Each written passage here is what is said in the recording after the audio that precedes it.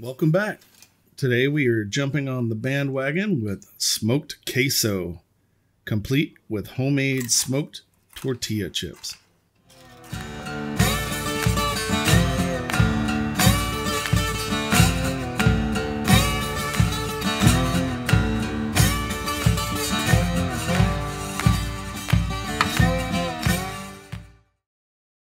But up first, we're going to do a little unboxing. I received a package from one of my barbecue team sponsors.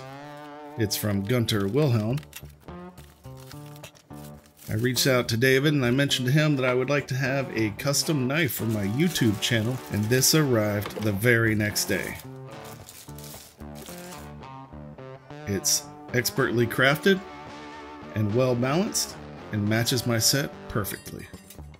All right, let's get started. First off, we're going to grate some cheese. I find that queso is better when you use freshly grated cheese. For some reason, the package variety doesn't seem to melt as well, although you can use it in a pinch. Here I'm grating two one pound blocks of Monterey Jack cheese. I'm making a double batch as I am filming two videos at once this weekend. So while I'll show you how to make a double batch in the video, Please see below in the description for this single batch recipe. First off, we're adding in 4 cups of milk. Then we're going to add 3 teaspoons of sodium citrate. You can find this on Amazon and it's not terribly expensive. This is a sodium-based salt derived from citrus, and it's what they use to make American cheese. It's what gives Velveeta its creamy texture and superb meltability. So since we're not using Velveeta today, we're going to go ahead and make our own version with Monterey Jack cheese. Here we are just adding the cheese to the milk as we are bringing it up to simmer. Once we bring it up to a simmer, it should thicken up nicely. Then we're going to pour our cheese sauce into our forms. Here I have two Pyrex forms and I'm going to pour our cheese sauce into them equally. Then we will place them in the fridge and let the cheese set up. Now it won't form a solid block as we did not put enough cheese in the recipe. But if your goal was to make a block of Velveeta style cheese, you would need to add more cheese to this recipe and let it set up overnight. Now we're firing up our grill. Today we are using briquettes we're using briquettes because they are typically cheaper than lump charcoal, and the flavor that lump charcoal provides won't necessarily be relevant in this dish. We are only dumping out half of our chimney because we're going to reserve the rest for lighting the smoker. Once you scatter the coals, add a little more charcoal to the pot.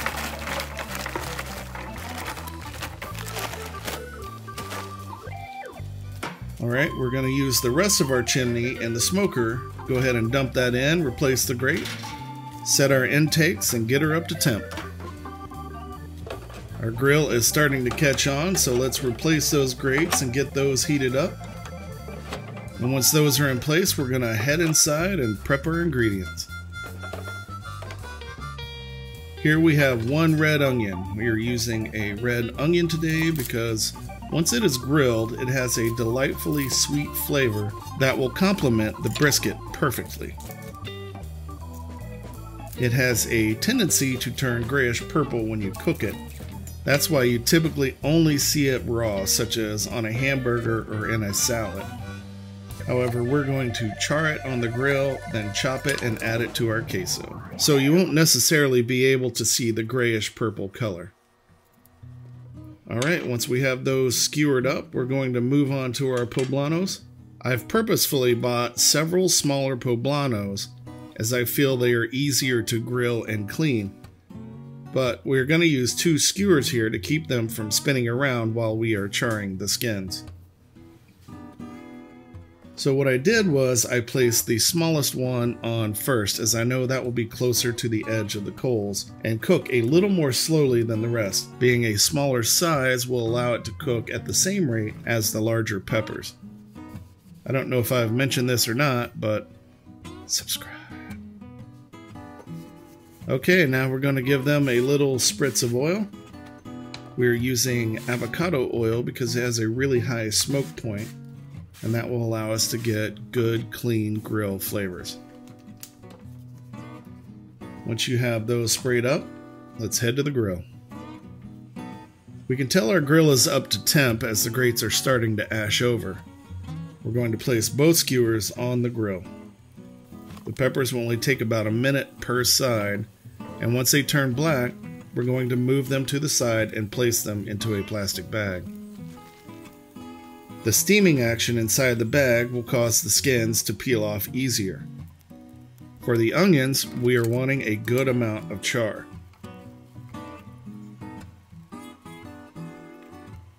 We're looking for a color that is somewhere between black and dark brown. Now it's time to assemble our queso. We have our leftover brisket scraps from the last competition. Subscribe. Okay, sorry, that was the last time. Take your time here and cut the brisket into slices, then chop those into cubes. You want a nice sized cube that will fit on a chip without overwhelming it. After all, chip integrity is a factor to consider.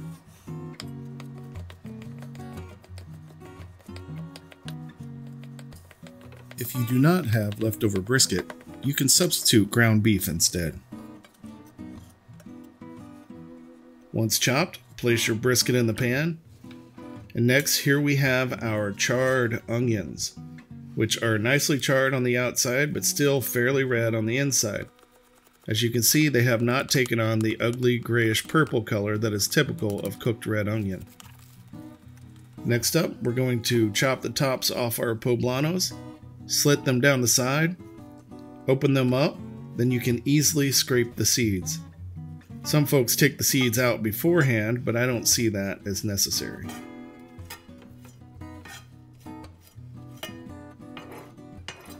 We're going to flip them over, then very delicately scrape the charred skin off the meat of the pepper. Careful not to tear or cut the poblano.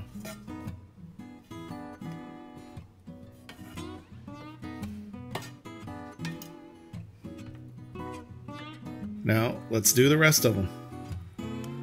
Steaming the skins in a plastic bag makes this process go much easier.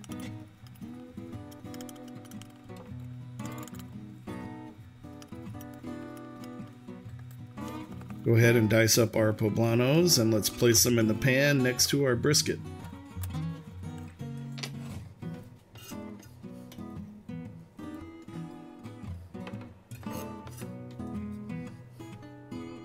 Okay, let's place our onions in next to our poblanos.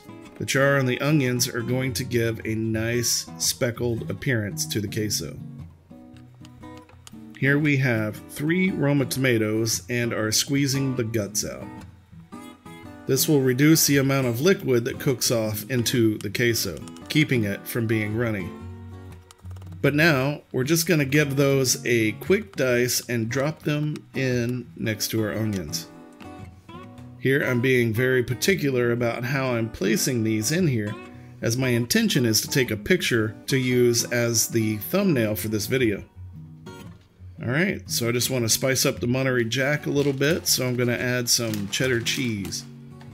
This is bag cheese, but it is a mixed variety of cheddars, I think it will add nicely to the Monterey Jack. After we place the cheese in the pan, we're going to retrieve our cheese sauce. And we're going to place a large dollop in the middle. Next, we're going to slice up some serrano peppers just for a little kick. Place those on top. I would like to apologize for the blurriness of the video. It seems that when I reset my camera, I got some brisket grease on the lens. I'll realize that and fix that here shortly. And here is your Instagrammable photo op. It is gorgeous, but it's not realistic. So what we're going to do is we're going to add the rest of our cheese sauce on top of it. Now while it may not look as pretty, it will definitely taste better. Now we're adding wood to the smoker and we're going to place our queso directly on the rack. Close the lid and set a timer for 20 minutes. After 20 minutes, we're going to give it a quick stir. Notice we are cooking a little cooler today. We are cooking at 250 degrees, and that is so that we don't burn the cheese on the bottom of the pan. Close it up, set your timer for 20 minutes. While that's cooking, let's head up inside and start on the tortillas. Here I grabbed a handful of tortillas and I'm slicing them into quarters. Once we have them in quarters, we're going to place them on a rack Careful not to overlap completely, but a little overlapping is fine. Once you have the rack full, we're going to head to the smoker. Oh man, she's looking awesome. It's been cooking for about 40 minutes now and just needs one final stir. Oh yeah, this is gonna be so good. This is what you call chunky style queso con carne. Now, let's carefully move this over to our grill. It is still warm, and that way it will keep our queso from getting cold while we are making our tortillas. So add some wood to the smoker and place your tortillas inside for about 8 to 10 minutes. Just enough to get a little bit of smoke on them and dry them out. If you dry them out, they will fry a lot better. Oops, looks like I left one behind. That's alright.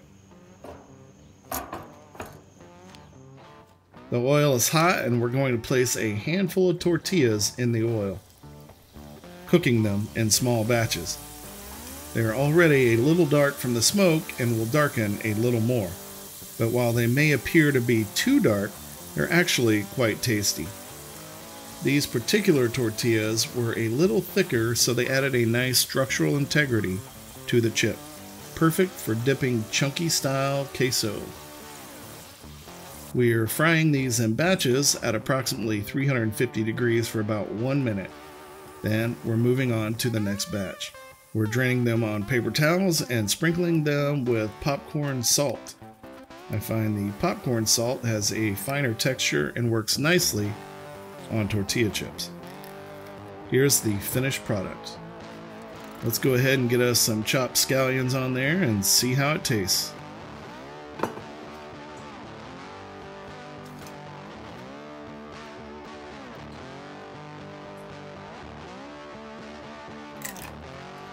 Oh baby, that is so good. The brisket really steps forward in this dish and the poblanos and onions rounded it out perfectly. It is smoky, creamy, and delicious. If you're interested in more videos like this, click here in the upper right hand corner and you can see how we made smoked baba ganoush. It is also another dip that is fantastic on the smoker. Thank you for joining us today in the Piggin' Whiskey Test Kitchen. Hope to see you next time. Find our recipes for this episode in the description box below. And don't forget, subscribe.